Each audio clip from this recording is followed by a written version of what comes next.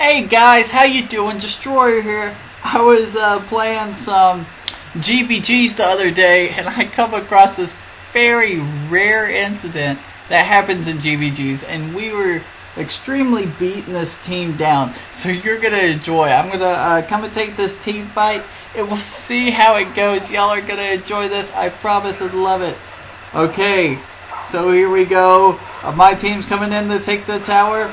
Uh, Dresnor gets stunned, and I come in and rush and kill. Our Arya gets a kill there. I need a backup. I get stunned, and the Dresnor ulties and comes in and kills the horse from my team.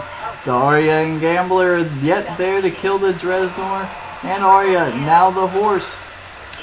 And Arya has a triple kill so far. Oh no, and we come back. And a rampage by Arya. Oh my gosh, I can't believe it. Epic!